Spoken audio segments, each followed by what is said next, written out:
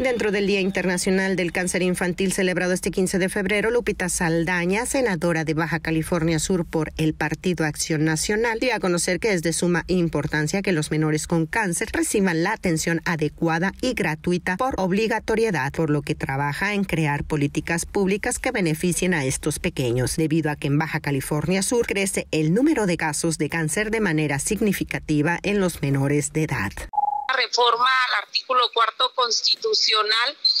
en donde eh, pues planteo que el, que el, derecho a la salud para los niños desde su nacimiento hasta que cumplen su mayoría de edad tiene que ser obligatoria eh, hasta en todos los niveles porque el esquema que hoy se ha propuesto no establece eh, la atención en el tercer nivel y el tercer nivel es precisamente las enfermedades con cáncer como el cáncer entonces por eso estoy por eso presenté esa propuesta y, y voy bien en el tema, yo creo que la vamos a lograr sacar en el Senado. Con imágenes de Noé Avilés para CPS Noticias, Ligia Romero Gutiérrez.